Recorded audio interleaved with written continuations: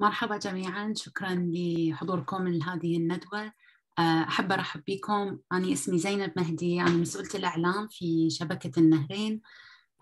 شبكة النهرين هي تابعة لجامعة كلية لندن أو سي إل. مرة ثانية أحب أذكر أنه هذه الندوة مسجلة وراح نحملها على موقعنا على اليوتيوب خلال الأيام القادمة. شبكة النهرين نظمت هذه الندوة مع المعهد البريطاني لدراسة العراق أو ما يعرف ب BISI وهو بالتعاون مع جامعة كركوك وجامعة وورويك. الورشة العلمية اليوم هي بعنوان إطلاق دليل الدليل المعرفي للباحثين والطلبة للتواصل مع أرشيف BP. وهو من ضمن برنامج منحة أستاذ الزائر التي حصل عليها الأستاذ المساعد الدكتور دلشاد عمر عبد العزيز رئيس قسم التاريخ بكلية الآداب في جامعة كركوك وهو اليوم معنا كضيف ونشكرك لحضور هذه الندوة ووجودك هنا وتعاونك معنا. الدليل هو طبعا جزء من مشروعه اللي منحة اللي حصل بالمنحة من شبكة النهرين.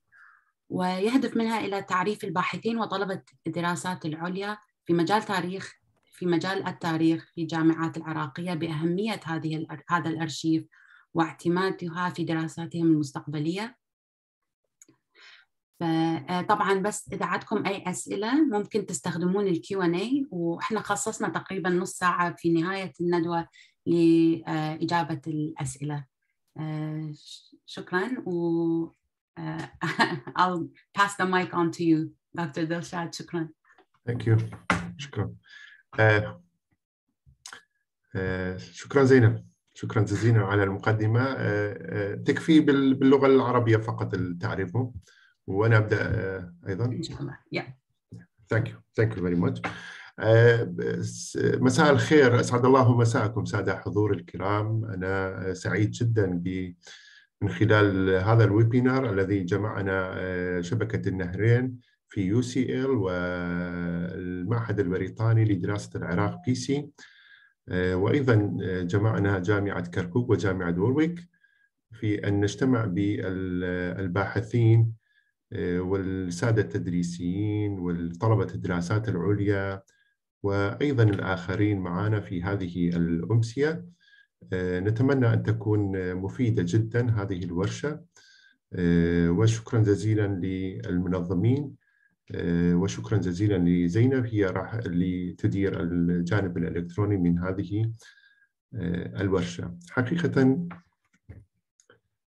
أنا دكتور دلشاد عمر عبد العزيز رئيس قسم التاريخ في جامعة كركوك وقد حظيت بمنحة الأستاذ الزائر ال visiting scholarship بدعم supporting من نهرين network في UCL و British Institute study of Iraq بي سي المعهد البريطاني لدراسة العراق لسنة 2022 وفي هذه المنحة كان عندي مشروع أريد أطبقها. هذا المشروع في إحدى الجامعات البريطانية وبالأخص اختاريت ال British archive الأرشيف البريطاني. باعتبار الأرشيف البريطاني هو أرشيف مهم جدا وهسه سوف نتكلم عن أهمية هذه الأرشيف. فجزء من المشروع هي للمشروع مجموعة من المخرجات منها البدء بعملية السكانينج للوثائق المهمة بالنسبة لي كباحث مختص في تاريخ مدينة كركوك. وأيضا عندي في من المخرجات الأخرى وهو كتابة بحث خاص عن أهمية هذا الأرشيف كمصدر لدراسة تاريخ كركوك لا سيما التاريخ الاقتصادي والاجتماعي والثقافي خلال القرن العشرين. وأيضا من المخرجات الأخرى هو تصميم دليل هذا الدليل يكون ذات أهمية استشرافية بالنسبة لطلبة الدراسات العليا وأيضا بالنسبة للباحثين والأساتذة في الجامعات العراقية وجامعات إقليم كردستان. باعتبار الآن عندما ندخل في أهمية تعريف أهمية ال BP archive سوف تعرفون لماذا هو مهم أيضا أنتم تتواصلون معها. هذا الأرشيف فيها مجموعة من الوثائق المهمة جداً.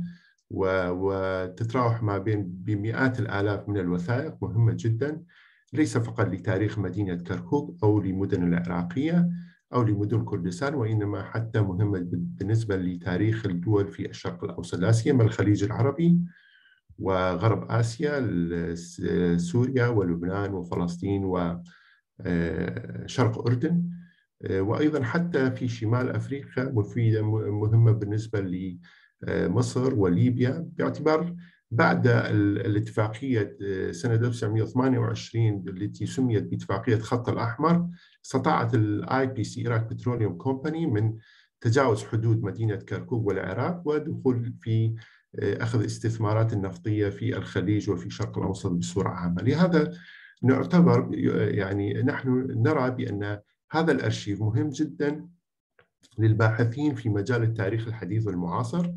وأيضا ليس فقط للمجال التاريخ الحديث والمعاصر وإنما مهم بالنسبة أيضا للباحثين في مجال الجغرافيا، الاقتصاد، الصناعة النفطية، جيولوجيا، أيضا بما فيها من المعلومات والوثائق المهمة يفيدهم في بحوثهم المستقبلية والاستشرافيه في هذه الجانب. أيضا يفيد ليس يفيد الباحث المختص المهتم الانتريس مالتهم فقط لتاريخ العراق وإنما حتى في تاريخ العثماني لأن عندهم الوثائق تمتد من 1700 آه، إلى 1972 بالنسبة للعراق وبالنسبة لإيران إلى سنة 1953 وبالنسبة للخليج العربي ممتدة إلى لحد الآن عندهم وثائق مع آه، أبو ظبي للبترول. أيضا مهمة بالنسبة لمختصين في تاريخ الخليج العربي وأيضا مختصين في تاريخ سوريا ولبنان ومصر و. لهذا آه، ارتاءت الباحث أو الأستاذ الزائر وأيضا الشبكه النهرين وال بي سي بأن يكون لهذه المشاريع ذات أهمية ليس للباحث الذي زار هذه المصادر والأرشيف وإنما تكون هذه المشروع بها أهمية بالنسبة للباحثين ويستطيعون هذا الباحثين أيضا يتواصلون ويستفادون من هذه الأرشيف ومن الوثائق الموجودة فيها وفي معرفة كيفية صارت عملية ال documentation في ال British archive حقيقة. لهذا آه، آه، أنا آه، حقيقة لا أخفيكم سرا باني أنا كنت متعرف على ال BP archive منذ سنة 2012 عندما كنت طالبا في جامعة موصل واختصيت في تاريخ النفط مدينة كركوك وكتبت عن تاريخ ال IPC Iraq Petroleum Company فتواصلت مع هذا الأرشيف واستطعت أن يكون لدي حساب خاص مع هذا الأرشيف. ولكن بسبب التوجهات والتعليمات الجديدة في وزارة التعليم العالي والبحث العلمي في العراق وحجبت الدعم المشاريع للبعثات البعثية لدراسات الإنسانية. لم نستطع التواصل معهم ولكن حقيقة هذا كانت حلم بالنسبة لي بأن أتواصل مع هذا الأرشيف لمعرفتي بما يحتوي هذا الأرشيف من كنز ويحتويه من وثائق مهمة جدا. يخص يختص باختصاصي ومهم جدا أيضا لمدينة كركوك وأيضا مهم جدا للتاريخ العراق وكردستان المدن الأخرى. لهذا هذا الحلم حقيقة آه، تحققت بدعم من مشروع ال visiting scholarship scheme اللي أطلقها the نهرين network في UCL وأيضا the بي سي British Institute study of Iraq حقيقه أنا آه، في هذه الأمسية أريد أقدم أيضا شكري آه، وامتناني وتقديري للإدارة في النهرين network ول بي سي. وأيضا أشد على هذه المشروع المهم اللي عندهم هو إطلاق آه، مشاريع آه، دعم الباحثين المحليين العراقيين آه، في الاستفادة من المصادر لإكمال مشاريعهم. هذه حقيقة المقدمة التي حبيت أن أوضحها والآن سوف نعرض عليكم عن طريق ال screen show share screen الدليل وبعد نهاية هذه الندوة الورشة سوف يصل لكم نسخة من الدليل على شكل بي دي اف فيها التفاصيل كاملة. عن طريق الأخت زينب إن شاء الله مشكورا سوف يرسلها لكم. طبعا هذا الدليل متكون من ثلاثة محاور. المحور الأول هو مقدمة مكتوبة باللغات الثلاثة اللغات اللغة الإنجليزية واللغة العربية وأيضا اللغة الكردية. لما هناك من باحثين في الجامعات الإقليم الكردستان أيضا اللغة الرسمية اللغة الكردية فيستطيعون الاستفادة من هذا الدليل باللغة الكردية فيها ما أدري زينب واضح الصورة؟ شير؟ شكرا. شكرا جزيلا سادة الحضور الكرام الباحثين الكرام من جامعات العراقية وجامعة إقليم الكردستان من السادة الباحثين والتدريسيين والأساتذة الكرام وأيضا من طلبتنا الأعزاء. طبعا هذا هو صفحة الغلاف للدليل. قبل أن نخوض في محتويات الدليل أريد أن أشرح لكم لماذا اختارنا هذه الصور في الغلاف حقيقة. لو تلاحظون هذه الصورة في في خلف وهو باعتبار خريطة صممت من قبل ال IPC Iraq Petroleum Company ولمدينة كركوك ويبين في هذه الخريطة آه، خلال مدة 46 سنة من استثماراته النفطية في الحقول النفطية في كركوك ماذا عمل؟ في مدينة كركوك. هذه لو تلاحظون هذه الجزء هي جزء داخل مدينة كركوك الجزء القديم من المدينة وهذا الجزء هي المنطقة الصناعية التي أسسها ال IPC تلاحظون هناك مجموعة من الصور تبين مشاريع لهذه الشركة في داخل مدينة كركوك منها مشاريع منها مثل الجسور وبناء مستشفيات وبناء خطوط الأنابيب وأيضا بناء المدن والأحياء السكنية والمساكن لعمالها ومستخدميها بحدود 2000 إلى 3000 مسكن. وإذا لو تلاحظون هنا المنطقة الصناعية والمنشآتها الصناعية بالإضافة إلى في هنا هناك معهد لل training center وأيضا هناك ملعب وأيضا هناك مستشفى ملكي وأيضا هناك آه، آه، في هذه الصورة يبين لنا آه، أيضا الحدائق العامة والمتنزهات والطرق والجسور الكثيرة. هذه حبينا أن نوضح بأن هذه نوعية الوثائق الموجودة في ال British Archive الأرشيف البريطاني. هذه تعتبر أحد الخرائط المصممة. فلو تلاحظون مدى أهمية وندرة وميزة هذه الوثائق الموجودة في British Archive هذه الصورة حقيقة اختارنا هي الصورة رقم بئر رقم واحد تسمى بئر رقم بابا جورجور التي اكتشف آه، النفط فيها بصورة تجارية في 14 على 15 أكتوبر 1927 الذي أصبح حدثا تاريخيا مهما بالنسبة للشركة وبالنسبة للعراق بصورة عامة وكردستان والمناطق الشرق الأوسط لأنها أصبحت حدثا آه، أثرت على الحياة السياسية والاقتصادية والاجتماعية بالنسبة لهذه المناطق. هذه الأسباب التي دعانا لإختيار وضع هذه الصور في الغلاف آه، آه، الدليل. طبعا الدليل متكون من 13 صفحة آه، فيها ثلاثة محاور. المحور الأول هو المقدمة ونبين فيها أهمية هذا المشروع آه، أو أهمية البريتش أركايف والمحور الثاني هي فيها معلومات مهمة في كيفية تواصل الباحث وطلبة الدراسات العليا في مع الأرشيف وأيضا هم يستطيعون أن يكون لديهم حساب و account خاص معهم ويستطيعون أن آه، يستخدموا ال database قاعدة البيانات اللي متوفرة لدى ال BP Archive ومن خلال قاعدة بيانات يتعرفون على الوثائق ويقومون بحجزها وبعدها يستطيعون من زيارة الأرشيف. المحور الثاني ثالث حقيقة هو المحور الأخير الذي يتناول مجموعة من الصور، هذه الصور يرشدك في كيفية استخدام هذا ال database حقيقة. نحن في مسألة المحور الثاني سوف أقوم ب share الموقع الخاص ال account الخاص اللي أنا عندي فيها. عمليا راح ندخل في هذه الموقع ونبين الطرق والاساليب التي نستطيع أن نتعرف على الوثائق المهمة اللي خاص بنا وأيضا كيفية حجز هذا الوثائق ال booking. وأيضا في كيفية طلبها order من الأرشيف وكم يستغرق الوقت في الذهاب واستلام هذه الوثائق وكيفية القيام بعملية ال scanning لهذه الوثائق. فالمحور الأول اللي سوف نتناولها هو المقدمة. طبعا المقدمة مكتوبة بثلاثة لغات اللغة الإنجليزية واللغة العربية واللغة الكردية لو تلاحظون. طبعا سوف نحن نشرح بطريق باللغة العربية. طبعا هذا الأرشيف أرشيف البريتش بتروليوم لماذا سميت أرشيف بريتش بتروليوم؟ لأن حقيقه الآن هو وريث كل الشركات التي عملت في مجال النفط في الشرق الأوسط منها أنجلو إيرانيان اللي عمل في مجال الصناعة النفطية في إيران وال IPC Iraq Petroleum الذي عمل في مجال الصناعة النفطية في العراق ومن ثم أيضا في الخليج والشرق الأوسط وأيضا شركة نفط الكويت وأيضا عندنا شركة الشيل ماكس شيل.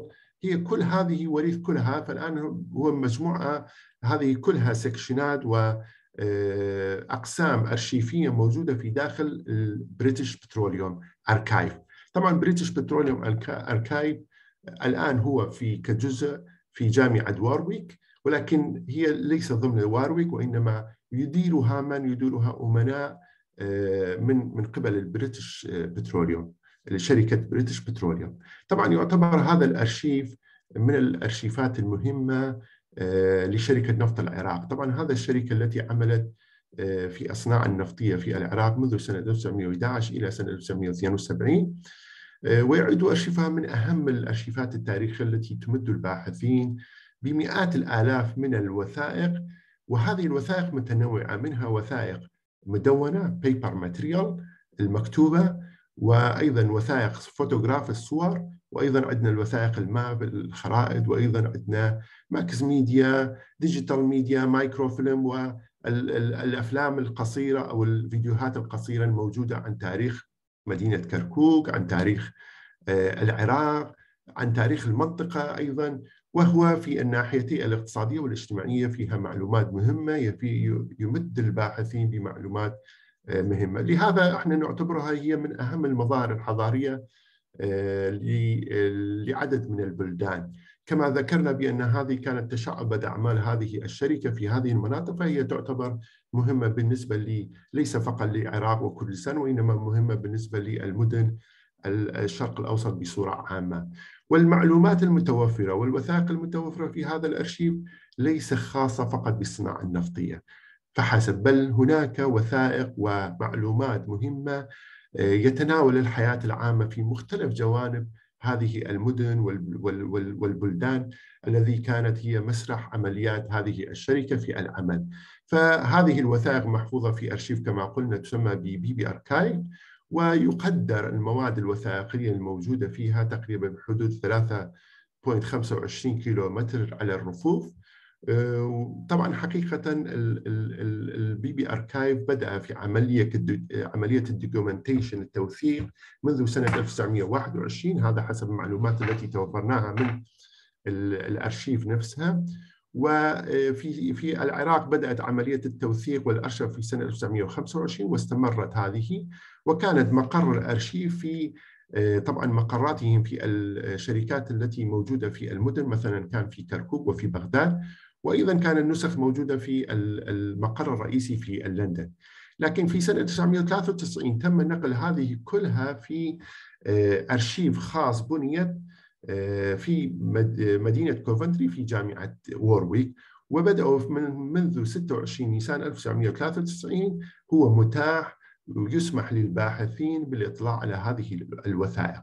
طبعا الوثائق كلها غير متاحة الآن حاليا ولكن أنا قبل 2012 كنت متواصل معهم والداتا بيس الموجود كان عندي الوثائق كلها كانت متاحة إلى سنه مثلا للعراق إلى سنة 1972 ولكن الآن بسبب سياسة الشركة قد حجبت الوثائق وأتاحت الوثائق فقط إلى سنة 1954 بعد 54 غير متاحة. حاليا لحد الآن قد قد يغير من سياسة الشركة في سنة أو سنة القادمة قد يطلق هذه الوثائق بصورة عامة. طبعا هذه الوثائق كلها موجودة بقاعده بيانات مفهرسة في قاعدة بيانات حاسوبية بالكامل. اللي الآن سوف بعد بعد قليل سوف نذهب إلى هذه المحور ونشرحها بصورة تفصيلية. وكيف التواصل معها أيضا في محور ثاني سوف نذكرها. ذكرنا لماذا مهمة بالنسبة لبلدان الشرق الأوسط؟ بسبب اتفاقية الخط الأحمر لسنة 1928 وهذه الوثائق كلها مدونة باللغة الإنجليزية وبعضها باللغة العربية ولكن قليل منها باللغة العربية. فتعرفون بأن هذه الشركة كانت جنس بريطانية الجنسية. صحيح هو كان متعدد الكارتر عالمي فيها مصالح أمريكية وفيها مصالح فرنسية وفيها مصالح هولندية ومصالح أخرى أيضا من الدول العظمى في تلك الفترة ولكن كانت الشركة إدارتها وجنسيتها كانت بريطانية فلهذا كانت الوثائق كلها مكتوبة باللغة الإنجليزية بشكل آه، عام وهي تتناول عن كل تقارير والمراسلات والكتب وأيضا عندهم مطبوعات منها مجلات وكتب و handbook وأيضا عندهم صور متعدده مختلفة هذه المعلومات بالتفصيل سوف إن شاء الله تلاحظوها أو تنظرون إليها في البحثنا القادم إن شاء الله عندما آه، ينشر في الشهر القادم آه، بإذن الله. طبعا آه، هذا الأرشيف مهم جدا والوثائق الموجودة فيها مهم جدا. نحن نرى نحن نرى بأن لابد من المهتمين في هذه الجانب في تاريخ آه، هذه الفترة أو هذا المواضيع والأهم المراجعة لهذا الأرشيف والتواصل مع هذا الأرشيف لأن فيها وثائق جديدة. هذه الوثائق حقيقة صحيح هناك أساتذة كبار بدأوا في عملية كتابة التاريخ النفط في العراق بدءا من دكتور نوري عبد الحميد العاني ودكتور أسامة الدوري وأيضا دكتور طه وغيرهم من الإخوة والأعزاء الذين بدأوا بها ولكن الأغلب لم يستخدموا الوثائق الشركة بصورة مباشرة إنما كلهم استخدموا وثائق ال FO Foreign Office وال Colonial Office ووثائق داون cabinet الحكومة البريطانية في داون ستريت اللي موجودة في National Archive British في آه، في لندن هذه كلها تعتبر وجهات نظر الحكومة البريطانية وجهات نظر الحكومة العراقية أيضا استخدموا وثائق دار الكتب والوثائق العراقية. هذه كلها تعتبر وجهات نظر الحكومة. أما وجهة نظر الشركة بصورة عامة فوثائقها وجهة نظرها موجودة في وثائق British Petroleum والوثائق ال IPC فلهذا نرى نرى بأن المهم جدا من الباحثين لإعادة النظر في هذه الوثائق مرة أخرى. طبعا كما ذكرنا في British Petroleum هناك أقسام أربعة أقسام. آه، أرشيفية منها أرشيف ال IPC وأرشيف Anglo-Iranian وأرشيف آه، الكويت وأيضا أرشيف ال Shell-Mex النفط البريطانية. واللي إحنا آه، حقيقة أهم الوثائق وكمية حجم الوثائق المهمة الموجودة هو بالدرجة الأولى هي ال IPC وبالدرجة الثانية بالنسبة لل Anglo-Iranian والدرجة الثالثة الكويت والدرجة الرابعة هو ل Shell-Mex كما إحنا قلنا به عملية المراجعة وال review لهذه الوثائق الموجودين. إحنا لحد تقريبا خمسة أسابيع أو ستة أسابيع في آه، تواصل مع BP Archive. آه، شكرا. هذه المحور الأول انتهى وهذه المحور الأول آه، موجود باللغة الكردية أيضا. نأتي إلى المحور الثاني وهو how to contact BP Archive. كيف نتواصل؟ أنا كباحث وأستاذ وطالب دراسات عليا مهتم في هذا الجانب وأريد أتواصل مع BP Archive. حقيقة BP Archive يعني آه، المواد الوثائقية الموجودة فيها آه، لا تستطيع إلا عن طريق التعيين والاتصال المسبق مع BP Archive. كيف يكون؟ طبعا عن طريق هذا الإيميل الموجود الظاهر أمامكم الموجود في الدليل. هذا الإيميل ترسل ايميل إليهم وهنا في الإيميل تذكر تعرف نفسك بأنك إما باحث طالب دراسات عليا الخلفية للانستيتيوت الجهة الانتساب مالتك يفضل أن تكتب كل هذه حتى يكون لديهم الثقة التامة بأن أنت رجل أكاديمي باحث أكاديمي أو حتى إذا كنت خارج المؤسسة الأكاديمية أيضا تكتب اهتماماتك البحثية في هذا المجال حتى هم يتعرفون عليك بأنك أنت باحث تريد تتواصل معهم، لأن يعني أنا حقيقه ما اخفي سر سرا هم لا يرغبون في أن تكون غرضك تكون تجارية لأن باعتبار هم لحد الآن شركة تجارية فعالين في مجال الصناعة النفطية وأيضا في الجانب السياسي واستخدام هذه الوثائق لأغراض سياسية هم لا يحبذون هذه الأمور. طبعا بعد إرسال إيميل لهم سوف يجاوبونك ويرسلوا لك فورمة خاصة هذه الفورمة الخاصة فيها التعليمات والشروط وأغلب شروط ال BP Archive وأغلب هذه الشروط والتعليمات هي مبنية على قانون الطباعة والنشر الموجودة في بريطانيا في UK أيضا فيها حقل مهم الغرض من البحث الذي تقوم به أو الغرض من التواصل. طبعا الغرض هذا مهم جدا تكتبها.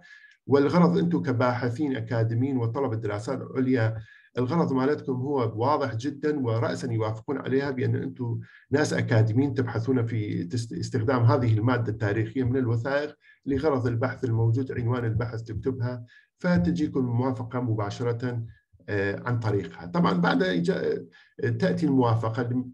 طبعا تستغرق حدود يوم إلى أسبوع. هذه الموافقة سوف تكون بإرسال لك account خاص سوف يقومون بإنشاء account خاص لك في ال database مالتهم قاعدة بياناتهم. username و ID راح يرسلونه لك وأيضا link خاص هذا هي للموقع ال database هذا ال link فقط أنت تقدر آه، تفتحها حتى إذا أنا أرسلها لك أو أنت ترسلها للآخرين ما يقدرون يدخلون فيها لأن هو account خاص لك.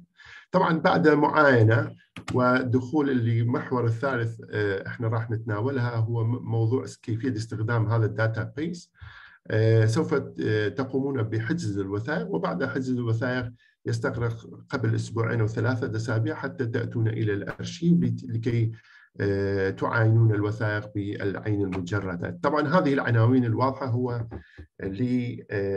عندما تزورون الأرشيف آه، هذا العنوان وهذه أوقات دوامهم في هذه الأوقات مفتوحة. طبعا آه، عندما تقرر الذهاب هم يرسلون لك guidance ال visiting guidance الدليل الزيارة مالتك شلون تتعامل مع الوثائق كيفية ال scanning هالامور كلها موجود فيها وأيضا بعض الشروط ال archive موجود بها وشروط الطباعة ونشر القانون البريطاني أيضا موجود فيها آه، وأيضا يرسلوا لك map فاني هاي ثلاثة ملفات ال form وال guidance ال visiting guidance وال map الآن سوف أنزلها في ال chatting تقدرون تحصلوها وبعد أن يصلكم أيضا الدليل بعد الندوة إن شاء الله سوف تلاحظونها وتقدرون تعاينونها قبل ما أن تتواصلون معها.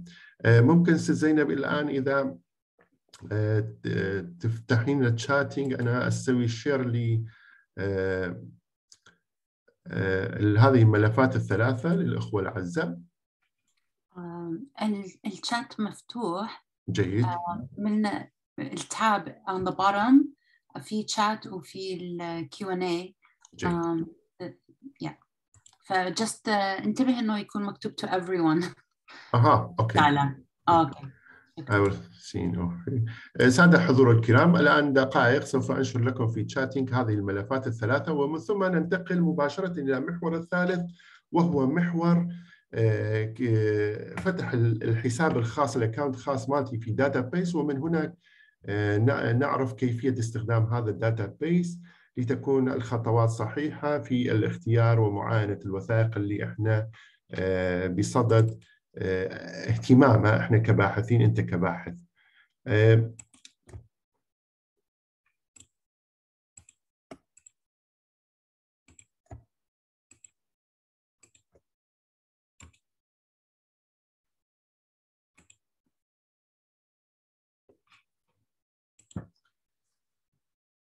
الشاتنج نعم.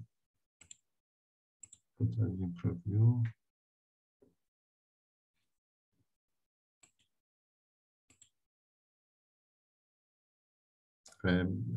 أصلا الشاتنج ست زينب ما تنفتح لي.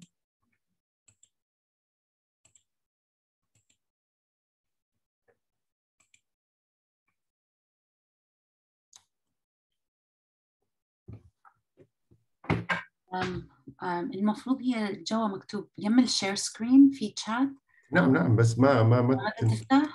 على ال arrow لا لا لا انفتح لا نعم. آه، okay جيد شديد أيوه إذا أكو مشكلة ممكن هم ترسل لي وأنا أحطها إذا ما okay okay ساحاول إذا آه، ما يتقبل ال... آه، لا ما يتقبلها سأني أرسلها إليك وأنت مشكورا سوف تعمميها على سادة الحضور الكرام. ماشي؟ شكرا لكم. دقائق.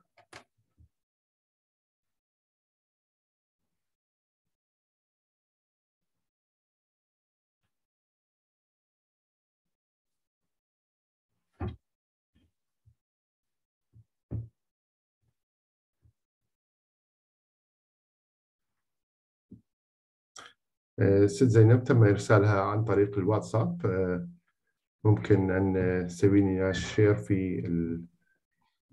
هي لأنه PDF نعم ما أقدر أسويها share على الشات بس ممكن نرسلها لل جيد مع الدليل ويا الدليل إذا ممتاز ممتاز okay. ممتاز.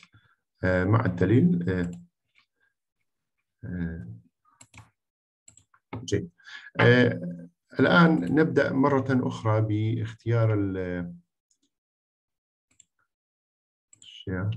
أخوة الأعزاء لو تلاحظون آه، إحنا توقفنا في المحور الثالث.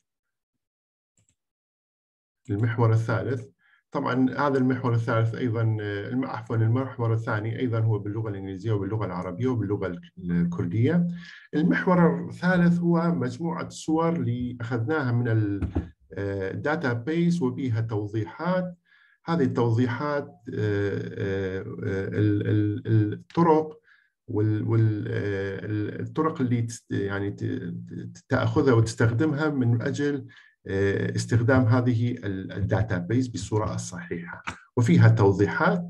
هذه موجودة في الدليل وأنتم تقدرون بعد من الجزء الدليل اللي توصلكم النسخه من الدليل تحفظوها عندكم. ولكن أنا بدلا أن أشرح عن هذا سوف أنقلكم مباشرة إلى ال data base مالتي الموقع وهذه الخطوات كلها سوف نشرحها بصورة عملية على ال data base القاعدة البيانات الحاسوبية الموجودة في BP Archive وهناك سوف نلاحظ مجموعة من آه، الخطوات وكيفية استخدامها. إن شاء الله آه، الآن stopping sharing ونختار ال share الموقع. نعم. آه، واضح زينب الموقع حاليا؟ أي ما أي واضح. جيد. نعم. آه، سادة حضور الكرام الباحثين وطلبتنا الأعزاء. هذه الموقع الخاص بالنسبة لي اللي أنا سبقتكم في التواصل مع BP Archive وحصلت عن طريق هذا الإيميل وكتبت الغرض من البحث وعن طريقها هم آه، إجاني الإجابة آه، آه، بصورة يعني موافقين وأرسلوا لي user name و password و link عن طريق هذا ال link اللي حافظها تطلع لي هذا القاعده البيانات اللي تلاحظوها ويطلب من عندي ال user name وال password طبعا أنا حافظ ال user name وال password أسوي login أدخل إلى الحساب الخاص في آه، هذا الأرشيف اللي تلاحظون الآن ظهرت هنا في الجانب آه، لو تلاحظون هنا آه، في هذا الجانب إذا تشوفون المؤشر الماوس اللي عندي هذا درشات عزيز هو الحساب الخاص وهناك log out إذا أريد أخرج من عندها أخرج. لو تلاحظون مثل آه، جوجل هناك محرك للبحث هنا محرك للبحث هناك ثلاثة خيارات للبحث basic search advanced search and browse by أي تريد اللي انت ال- ال- المتبع إحنا نستخدم advanced search ليش advanced search لأن بها مميزات دقيقة جدا. أي كلمة أي شيء أنا أبحث بها هو راح يظهر لي في هذه الجانب اللي نستخدمها. فأنا أستخدم طبعا هذه معلومات عن الأرشيف معلومات بسيطة جدا عن الأرشيف اللي تلاحظون في الأسفل ثلاثة حقول. آه، نبدأ في استخدام. الآن أنت عندك آه، قاعدة بيانات وعندك حساب. كيف تريد تبحث في الوثائق اللي تهمك؟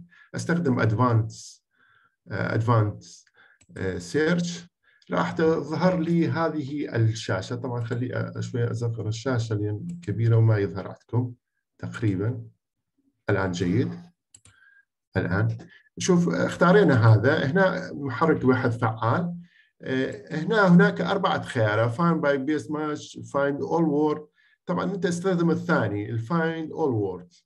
يعني الكلمة اللي أنت تريدها المراد في البحث عنها في في أي ملف موجود فيها حتى إذا كانت في الشرح مالتها ذكرت بكلمة سوف يظهر هذه الوثيقة بأن هذه الكلمة مهمة موجودة في هذه الوثيقة فيفضل أيضا اختيار هذا find all word جيد. الآن آه، اكتب اهتمامك أنت البحثي مالتك في يا جانب في يا حقل.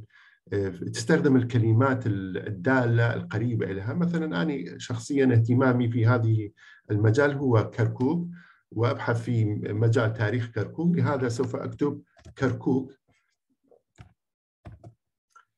شوف كتبت كركوك راح يظهر لي مجموعة من الخيارات. الخيار الأول هو كركوك مكتوب. الخيار الثاني ينطي تفاصيل الوثائق الموجودة عن كركوك. مثلا كركوك town shops الأسواق في المدن مدينة كركوك.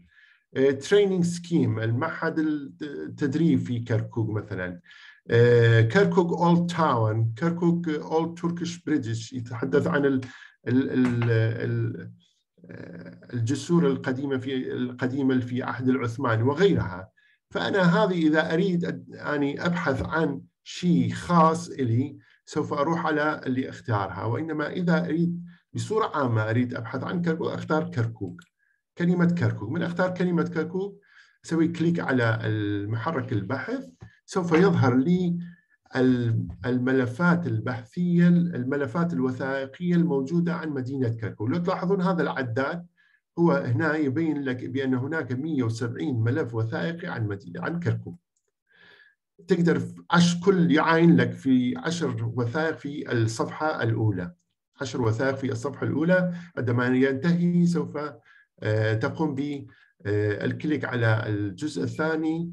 ال next يظهر لك العشر وثائق الأخرى اللي تبدأ من 11 إلى 20 وهكذا وهكذا. طبعا آه، لو تلاحظون أيضا في الصورة أنا وضحت وبالبداية شرحنا بأن الوثائق متنوعة موجود في BP Archive عندك الخرائط عندك ال paper material المكتوبة المدونة في الورقة عندك الفوتوغراف. هنا كلها الوثائق لو تلاحظون يؤشر لك بعلامات بأن هذه الوثائق وشنو نوعيتها. هذا الأول هذا نوعية الخريطة. الثاني هو نوعية ال paper material المكتوبة. الثالث هو photograph material علامة الكاميرا. هذه كلها ينطيك توضيحات بأن الوثيقة إيش تتناول. لو تلاحظون هذا الوثيقة الأولى مثلا number 1 كركوك development جيد. أنا من أريد أشوف هذا الوثيقة ماذا تتناول؟ أسوي click على الوثيقة. يظهر لي صفحة تعريفية عن الوثيقة. طبعا حقيقة هذه الوثيقة خلي نتجاوزها لأن ما منطي تعريف كامل عن الوثيقة. خلي نظهر في وثيقة فيها توضيحات كثيرة. أو مثلا آه, آه هذه الوثيقة مثلا لنفرض هذه الوثيقة. لو تلاحظون وكل الوثيقة فيها هالمعلومات العنوان التايتل مالته. هذه ثلاثة خيارات سنعوا فما نتكلم عنها نريد المرحلة الثانية نتكلم عنها. عندك ال reference التصنيف مالته وال beginning date و end date الوثيقة التاريخ مالت الفترة اللي تبدأ والفترة التي تنتهي اللي تناولها الوثيقة. إيه، تابعة لأي شركة من هو يعني صاحب هذه الوثيقة؟ وال abstract. هذا المهم جدا ال abstract اللي بيه تعريف بعض الوثائق بها إيه، سطر أو سطرين وبعضها مثل هذا بها أكثر من 150 كلمة 100 إلى 150 كلمة موجود بها. وأيضا يبين لك عدد النسخ ال available موجود في الوثيقة هذه الوثائق الموجودة فيها. فهذا التعريف مهم جدا بالنسبة للباحثين عن طريق هذا ال database أولا يعرف كم عدد الوثائق المتوفرة عن الموضوع المهتم بها وأيضا يعرف هذا الوثيقة ماذا تتناول. تتناول هل هو قريب من اهتمامه البحثي أو البحثه أو آه، رسالة الماجستير أو الدكتوراه أم هي بعيد عنها. فهذه مهمة التعريفي. هنا عندك ثلاث خيارات. هذا الخيار الأول ريسيرفر هذا الريسيفر أنا من أريد أحجزه لأن أنت من قبل ذهابك إلى الأرشيف لمعاينة الوثيقة تحتاج بأن تكون قبل أسبوعين ثلاثة أسابيع أنت حاجز الوثائق. الكمية الوثائق الحاجزها وهم يحددوا لك وقت ومن ثم تأتي ويحضروا لك الأمناء الموجودين في الأرشيف يحضروا لك الوثائق وتبدأ في عملية المعاينة وال review وال scanning آه، فقبل هذا تستخدم هذا تستخدم هذا ال reserve أنا من أريد أحجز هذا الوثيقة مثلا أسوي click على الوثيقة راح يرسل لي إلى صفحة أخرى. هذا الصفحة الأخرى الموجود فيها يبين لك بأن هذا الوثيقة الآن available يعني ما محجوزة لباحث آخر أو ما هي قيد المراجعة من قبل باحث آخر هو available لو تلاحظون هو available هذا ال available كيف اني أعرف available لو تلاحظون هذا ال icon ال save. هذا تشوفون ال icon المعروف اللي تعني ال save. إذا كانت فعالة بمعنى هذا available أنت تقدر تحجزه لنفسك. إذا غير فعالة آه، إما إما هو محجوب عنه كما قلنا مجموعة وثائق هو محجوبة حاليا أما هو هذا الوثيقه الآن تحت ال review والمراجعة لباحثين آخرين قبلك حجزوها فما تكون لازم تنتظر وقت من هذا الآن هو هذا الوثيقه available إلي فايش أسوي؟ أنا أسوي click على ال save هذا راح يحول لي إلى صفحة أخرى اللي هو في account مالتي اللي اسمه ال request هاي ال request يتناول كل الوثائق اللي أني أحجزها بهذه الطريقة. فمثلا الآن أنا حجزت وثيقة اجى وين؟ اجى reservation المحفوظات الخاصه اللي عندي أني في هذا ال database راح يكون. فمن واحد تحجز منا 10 20 30 40 عدد الوثائق اللي تحجزها سوف يظهر لك هنا الأعداد مالتها وهي أيضا يظهر عند الأمناء بأن أنت حجزت في التاريخ هذه الوثائق. عندما أريد ألغي هذا الوثيقة من الحجز هناك لو تلاحظون هناك خيارين. خيار إما أغير تاريخ الحجز مالته هنا أختار لي هذا التقويم الموجود يا إما أرجع إلى ماذا وأعطيه save يا إما أرجع أني أصلا ما أريده. هسه أنا حاليا أنا حجزت هذا الوثيقة وعاينته وراجعته ما حجز لنفسي. فإيش أسوي؟ راح ألغيه أسوي delete سويتها delete الآن عندي في reservation ما عندي محفوظاتي ولا وثيقة محفوظة. نرجع إلى الصفحة التعريفية السابقة اللي قلنا لكم إياه اللي هذه. هذه الوثيقة اللي إحنا سويناها reserve وسويناها save وراحت مباشرة وين؟ إلى ال request مالتنا. إذا ما نسوي هذا؟ أنا أريد أسوي هذا الصفحة اللي عندي أسويها آه، أسوي print يعني أطبعها إلي. أحفظها يمي كمطبوعة لي أحفظها يمي أراجعها في كل مرة في عملية البحث وعملية الكتابه البحث أو أسوي له print أسوي له print عن طريق ال print أنا أقدر شو أسوي؟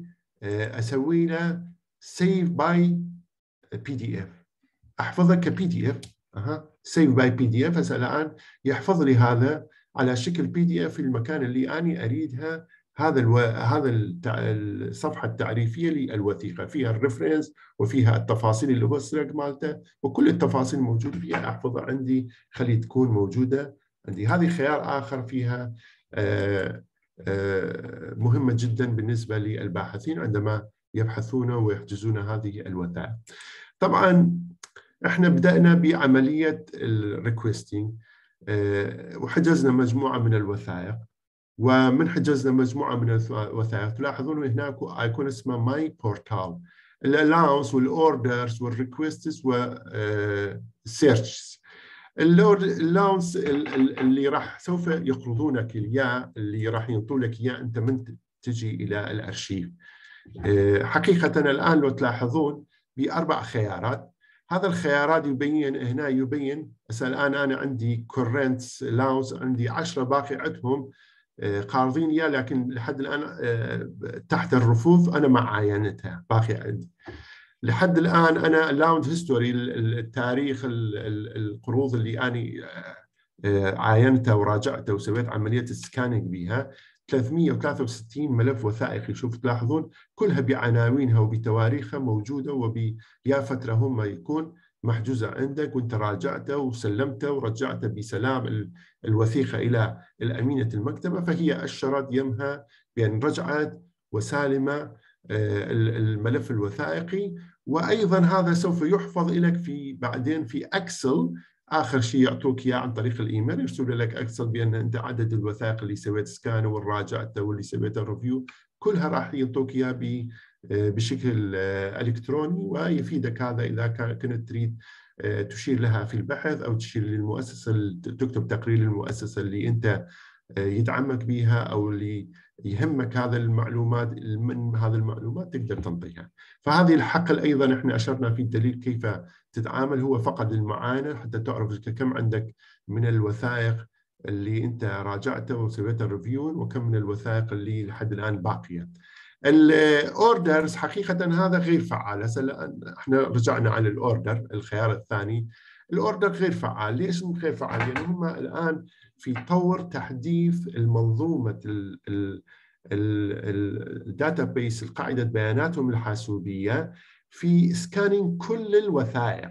عندما هم يقومون في عملية scanning كل الوثائق اللي الآن هذا المشروع مطروح من من كثير من الأركيفات وال libraryات المكتبات آه، لتطلق الوثائق والكتب على شكل PDF ينطيك اياها order فإما مجانا وإما buy آه، مبالغ معينة.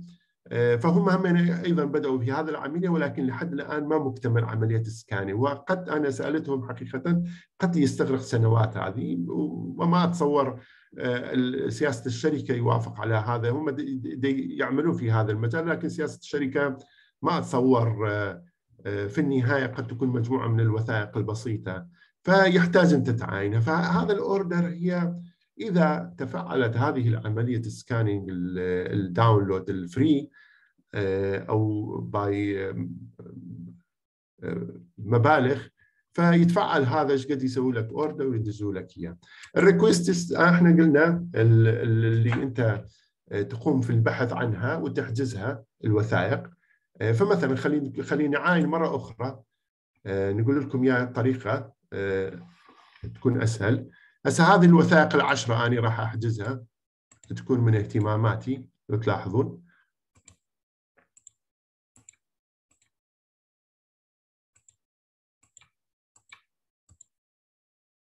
هذا العشر الوثائق أنا أبدأ بحجزها. أستخدم هذا الآيكون. لو تلاحظون آه، وصلنا إلى هذه الصفحة. وهنا أستخدم الآيكون السيف. الآن شوفوا لاحظتوا في ريسيفرزيشن صار؟ الوثائق 10 الوثائق كلها أصبحت محجوزة الآن.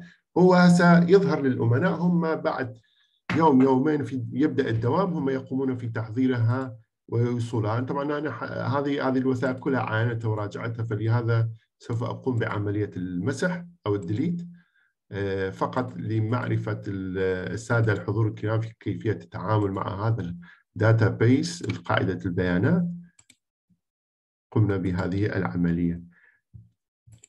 آه، سادة الحضور الكرام آه، هذا هو أهم ما موجود في محور الثالث وهو محور الجانب العملي في كيفية استخدام ال database آه، الموجود في قاعدة البيانات الحاسوبية ل BP Archive. طبعا آه، عزيزنا هناك كثير من الباحثين والأساتذة من الجامعات العراقية يتواصلون معي في عدم آه، استطاعتهم للانضمام إلى هذه الورشة لعدم تقبل الرابط في انضمامهم فما أدري ما هو السبب. يرجى أن تكون هذه الندوة الورشة مسجلة لكي يستفادوا من بعدها في كرابط على شكل يوتيوب في المعرفة ومراجعة هذه المعلومات إن كانت مهمة بالنسبة لهم. شكرا جزيلا. الآن نعم. الآن سوف نأخذ الصفحة الأخرى الصفحة الأخيرة من ال database آه، عفوا ال guideline الصفحة الأخيرة من ال guideline هو الجهات الداعمة لهذه الدليل. آه، وهم شبكة نهرين و UCL وأيضا البي سي British Institute Study of Iraq المعهد البريطاني لدراسة العراق وأيضا Warwick آه، اللي موجود فيها ال BP Archive وأيضا ال host الأكاديمي يعني لهذا المشروع هو كتائن الشافعي من قسم التاريخ جامعة قسم التاريخ كلية الآداب جامعة Warwick وأيضا جامعتي جامعة كركوك وأيضا كليتي كلية الآداب. فهذه كما موضح في باللغة الإنجليزية وباللغة العربية واللغة الكردية. هذا الدليل الدليل هو جزء من المشروع التي أنا قدمته ضمن برنامج منحة الزائر ال scholarshipping عام 2022 وبدعم مشكورا من الشبكة النهرين والمعهد البريطاني لدراسة العراق وأيضا ال British Petroleum أيضا آه، آه، آه، هناك كثير من الدعم بالنسبة لي باعتبار أنا متواصل معهم منذ 2012 وأيضا الآن أنا زائرهم في هذه الأرشيف وهم حقيقه الأمناء الموجودين بمديرها وموظفيها أناس رائعين جدا في التعاون مع الباحثين بصورة نبيلة جدا. أنا حقيقة أشكرهم هذا هو فرصة لي أشكر أشكرهم فيها وأيضا أشكر جامعتي اللي ساندني في هذه المشروع وفي إعطائي المهلة الكاملة في دعمي من أجل إنجاز هذا المشروع. إن شاء الله تكون ضمن هذا المشروع مخرجات أخرى منها كما قلنا البحث وأيضا مخرجات الوثائق اللي سويناها scanning طبعا أنا سويت scanning بالنسبة للكركوك وأي من الباحثين أنا بلغت الباحثين حسب تواصلي مع الباحثين والأساتذة وأيضا طلبة الدراسات العليا اللي هم مهتمين في شأن تاريخ النفط بصورة عامة في العراق وفي كركوك يستطيعون التواصل معي فأنا أستطيع أن أمنحهم هذه الوثائق بعض من هذه الوثائق لاستكمال آه، رسائلهم وأطارحهم الجامعية وأيضا لإكمال مشاريعهم البحثية المستقبلية إذا كانوا مهتمين في هذا الجانب. أما البقية اللي أنا ما استطعت أن أقوم بعملية scan لكل الوثائق كما قلنا لأن آه، تقريبا حدود فقط في ال database القديم أنا سويت search ل Iraq Petroleum Company ال IPC ظهر عندي في محرك البحث بحدود تقريبا 278 ألف ملف وثائقي فهناك كميات هائلة من الوثائق فغير باستطاعة شخص واحد أو إمكانية شخص واحد ولكن قد يكون بإمكانية team الفرق البحثية أو فرق ال documentation من الجامعات العراقية يستطيعون القيام بهذا الموضوع. أما آه، كيفية أنتم كما شرحنا في هذا الدليل سوف يساعدكم أنتم أيضا في التواصل وهي فرصة حقيقة. أنا لا أخفيكم سرا هي فرصة حقيقة في الوصول إلى UK والحصول على الفيزا أيضا. أنتم عندما تتواصلون مع BP Archive هم سوف يزودكم آه، بكتاب رسمي بزيارتكم للأرشيف وهذه تعتبر إحدى الوثائق المهمة الداعمة للسفارة البريطانية والقنصليات البريطانية الموجودة في العراق بأن زيارتكم هو زيارة بحثية أكاديمية إلى إحدى الأرشيفات الموجودة في إحدى الجامعات البريطانية. فتكون 50% إلى 60% تكون شيء مدعوم جيد بالنسبة لكم. ففيها استفادة أيضا من هذه الجانب اللي أتمنى أنتم أيضا مثلي تتواصلون مع هذا الأرشيف وتستفادون من الوثائق الموجودة وتكون هذا الدليل آه، هو آه، خير بالنسبة لي أو نقطة داعمة بالنسبة لمشاريعكم البحثية ورسائلكم وأطارحكم المستقبلية إن شاء الله. وفي النهاية أنا لا يسعني إلا أن أشكر كل الحاضرين من الجامعات العراقية ومن جامعات إقليم كردستان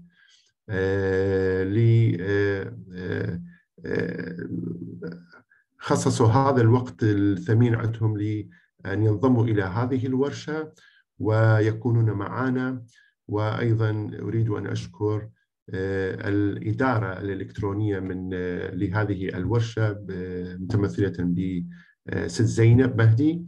وأيضا آه، هي فرصة جدا سانحة لي أيضا أن أشكر القائمين واللي يديرون الشبكة النهرين على رأسهم البروفيسور إلينور. روبسون وأيضا دكتور مهيار ودكتور الروجين وأيضا آه، أوانا. وأيضا أشكر الأعضاء ال British ال BISI المعهد البريطاني لدراسه العراق منهم آه، علي خضر ودكتورة جينيفر وأيضا دكتورة جوني. وأيضا أشكر السادة التدريسين في جامعتي وقسمي وكليتي. شكرا جزيلا. وشكرا لاستماعكم ولمشاهدتكم لهذه الورشة وانضمامكم لهذه الورشة.